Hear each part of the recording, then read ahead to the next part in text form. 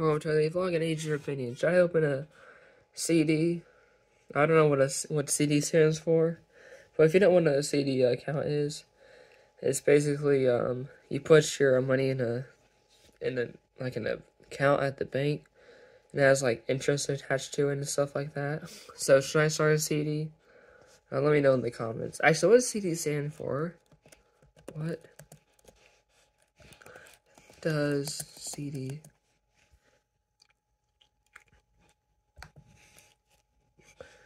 Okay. Meaning money.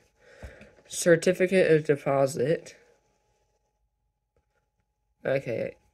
I guess that makes sense. Maybe. Not really. That's just my see tomorrow.